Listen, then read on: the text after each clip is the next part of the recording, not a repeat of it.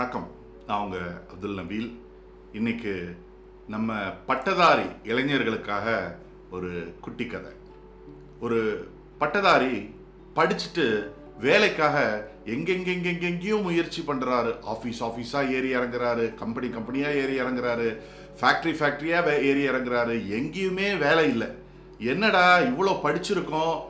வேலை கிடைக்க மாட்டேங்குது குடும்பத்தை எப்படி காப்பாற்றுறது பெற்றோர்கள் எப்படி காப்பாத்துறது மனைவி மக்களை எப்படி காப்பாத்துறதுன்னு ரொம்ப கவலைப்பட்டு தெரு தெருவாக வேலை கேட்டு அலைஞ்சுக்கிட்டு இருக்கும்போது ஒரு சர்க்கஸ் கம்பெனி அவர் கண்ணில் படுது.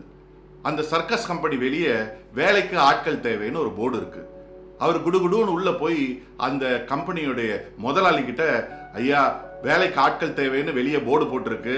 நான் பிஏ படிச்சிருக்கேன். அதுவும் பிஏல நான் கோல்டு மெடலிஸ்ட்டு எனக்கு ஒரு வேலை கொடுங்க ஐயா அப்படின்னு கேட்குறாரு ஓகே நீ பிஏ படிச்சிருக்க. ஆனால் இங்கே வேலை வந்து என்னன்னு கேட்டிங்கன்னா வேஷம் போட்டு நடிக்கணும். அதுதான் வேலை. செய்ய தயாராக இருந்தால் நான் வேலை கொடுக்குறேன் அப்படின்னு சொல்கிறாரு எந்த வேலையாக இருந்தாலும் பரவாயில்லைங்க. நான் வேலை செய்கிறதுக்கு தயாராக இருக்கேன் அப்படின்னு இந்த பட்டதாரி சொல்கிறதுக்கு அந்த கம்பெனி அந்த சர்க்கஸ் கம்பெனியுடைய முதலாளி அப்போ சரி ஓகே உன்னுடைய சம்பளம் ஐயாயிரம் ரூபாய். நாளை காலையில் வா உன்னுடைய வேலை என்ன சொல்கிறேன் அப்படின்னு சொல்கிறாரு ஸோ இந்த பட்டதாரி போயிட்டு காலையில் கரெக்டாக அவங்க சொன்ன நேரத்துக்கு அந்த சர்க்கஸ் கம்பெனிக்கு வந்த உடனே ஒரு குரங்கு பொம்மை கொடுத்து இதை நீ அணிஞ்சிக்கோ அணிஞ்சிக்கோ. இன்னிலேருந்து உனக்கு குரங்கு வேஷம். நீ குரங்கு என்னென்ன செய்யுதோ அதெல்லாம் நீ முறையாக செய்யணும். அது தாவர மாதிரி தாவணும் அது பெல்ட்டி அடிக்கிற மாதிரி பெல்ட்டி அடிக்கணும் அது செய்கிற சேட்டைகள் எல்லாம் நீ செய்யணும். இந்த முகமுடியை போட்டுக்கோ இந்த குரங்கு ட்ரெஸ்ஸை நீ போட்டுக்கோ இதுதான் உன் வேலை. நீ ஒழுங்கா செஞ்சா இந்த வேலையில நீ கண்டினியூ பண்ணுவ. இல்லைனா இந்த வேலையை வேற யாருக்காவது கொடுத்துருவோம் அப்படின்னு சொல்றாரு. இல்லைங்க ஐயா நான் அழகா செய்வேன். நான் குரங்கு மாதிரியே நடிப்பேன். எனக்கு சம்பளம் வேணும். என் குடும்பத்தை காப்பாற்றணும் அதுக்காக என்ன வேஷம் கொடுத்தாலும் நான் செய்ய தயார் ஐயான்னு சொல்லி அந்த பன்னெண்டு மணி ஷோக்கு இவர் தயாராகிறார். மத்தியானம் பன்னெண்டு மணிக்கு தான் முதல் ஷோ தயாராகி வேஷமெல்லாம் போட்டு அவரை கூப்பிடுறாங்க. குரங்கு வரப்போகுது அப்படின்னு கூப்பிட்ட உடனே ஸ்டேஜில் வந்து குரங்கு மாதிரி அழகாக நடிக்கிறாரு. நடிச்சுக்கிட்டே இருக்கும்போது உணர்ச்சி வசப்பட்டு ஒரு சிங்கத்துடைய கூண்டுக்குள்ள அவருக்கு தெரியாம அப்படியே உள்ள போயிடுறாரு.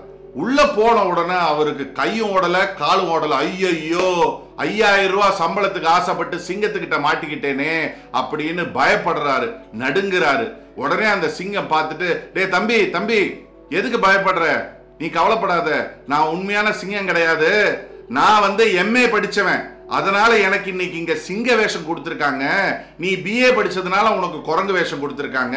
அங்க நீ பாக்குறல நிறைய பேருக்கு எலி வே- எலி வேஷம் முயல் வேஷம் நரி வேஷம் இதெல்லாம் பார்த்தோன்னா பிளஸ் டூ எட்டாம் கிளாஸ் பத்தாம் கிளாஸ் இந்த கேட்டகரி அங்க தெரியுதா பெரிய யானை? அது பாத்தீங்கன்னா இன்ஜினியர் பி நிறைய யானைங்க இருக்குது இல்ல இது எல்லாம் பி கிராஜுவேட்ஸுங்க அதனால அவங்களுக்கெல்லாம் யானை வேஷம் கொடுத்துருக்காங்க. அப்படின்னு அந்த சிங்கம் ட்ரெஸ்ஸு போட்டிருக்கிற எம்ஏ கிராஜுவேட்டு குரங்கு ட்ரெஸ் போட்டுட்டு இருக்கிற பிஏ கிராஜுவேட்டை பார்த்து சொல்கிறாரு எதுக்காக நான் இந்த கதையை உங்ககிட்ட சொன்னேன்னா ஒரு பொருளாதார நிபுணருடைய ஒரு இன்டர்வியூ கேட்டேன்னா ரீசெண்டா அவர் சொல்கிறாரு இந்தியா ஓரளவுக்கு தலை தூக்கிறதுக்கு குறைஞ்சது பத்து வருஷம் ஆகுமா பத்து வருஷம் ஆகுமா இந்தியா தலை தூக்கிறதுக்கு?